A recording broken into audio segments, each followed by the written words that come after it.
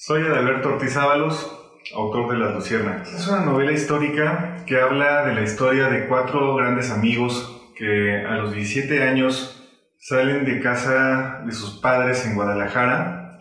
Esto está ambientado en los años 30. Estos chavos eh, se van de voluntarios y se afilian al Partido Comunista Mexicano en la Ciudad de México. Se salen juntos en este viaje que emprenden y empiezan a prepararse en varios eventos importantes de la historia nacional.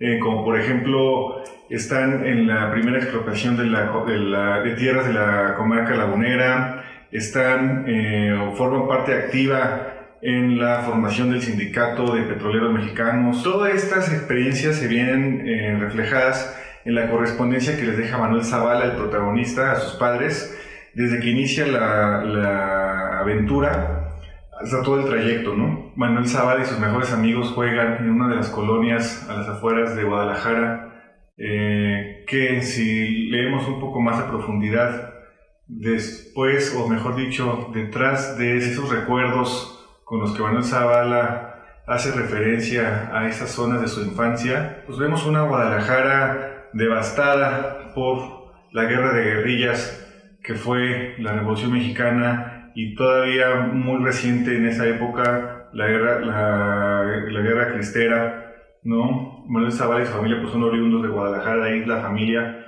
Entonces, eh, esta novela, Las Luciérnagas, pues al final le pertenece en buena, en buena medida al pueblo de Guadalajara. Si les gustan las novelas históricas, si les gustan las novelas de amor, de intriga, de acción, yo creo que Las Luciérnagas es una novela para ustedes eh, pueden encontrarla en un sinfín de librerías, tanto en Guadalajara como en todo el país. También en línea la pueden encontrar. Entonces, pues los invito a que eh, se den un clavado en esta, en esta historia tan rica que compartimos todos y puedan conocer a Manuel Zavala. Y quién sabe, tal vez también ustedes encuentren las luciérnagas azules. Muchas gracias.